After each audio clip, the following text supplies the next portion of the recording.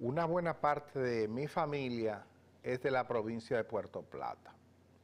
Y de hecho, mi madre eh, todavía vive, qué bueno que está, está viva mi mamá y bien, y vive en la provincia de Puerto Plata. Eh, los Meretes, que son mi familia, viven en Puerto Plata, y yo, de alguna manera, me considero de Puerto Plata. Recuerdo desde que era niño que Puerto Plata, la costa norte del país, era el turismo, no había turismo en, en el este ni nada de eso, sino que el turismo era en la costa norte. Desde Montecristi hasta Samaná, toda la costa norte es buena para el turismo.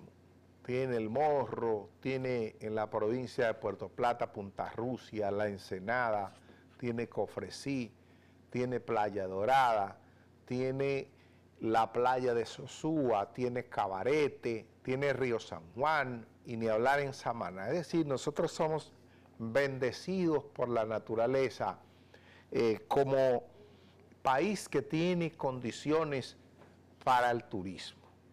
Pero nosotros hemos sido azotados por un grupo de delincuentes y ladrones que han administrado la cosa pública, que, es increíble, asaltantes, que han ido destruyéndolo todo.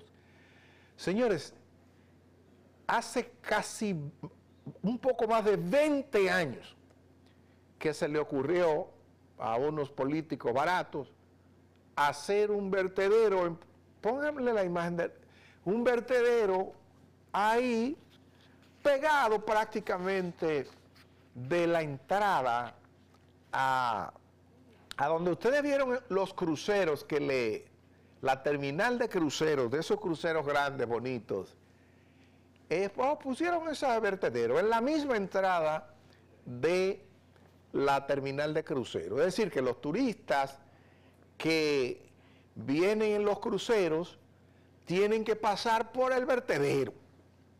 Pero el problema no es solo los turistas, que es francamente lo más importante en términos económicos para la provincia de Puerto Plata. La provincia de Puerto Plata descansa totalmente sobre el turismo. Todo lo que allí se hace tiene que ver con turismo porque ese es su potencial. Entonces imagínense ustedes, ese vertedero ahí, ¿ustedes creen que es posible que nosotros hayamos tenido tres, cuatro, cinco gobiernos con ese problema ahí, sabiendo que eso atenta. Cuando, cuando ustedes ven uno de esos camiones en los que montan turistas, que los habilitan para montar turistas que llegan porque los cruceros duran dos o tres días ahí y los turistas salen al pueblo montados en, uno, en una especie de camiones habilitados para eso.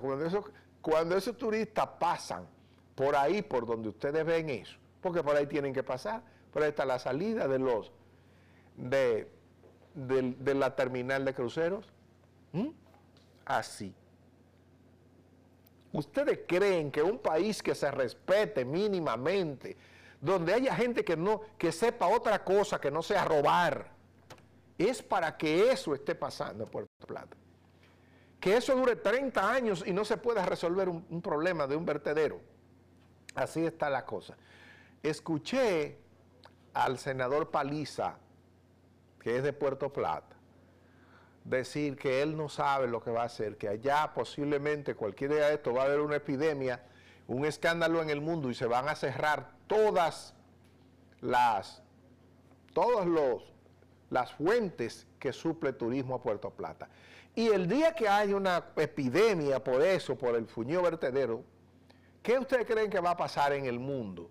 que todo aquel agencia, operador que preparaba tours para República Dominicana, para la costa norte no lo va a mandar. Pero nosotros lo que tenemos es gente para robar, solo para robar, lamentablemente. Vamos a la pausa.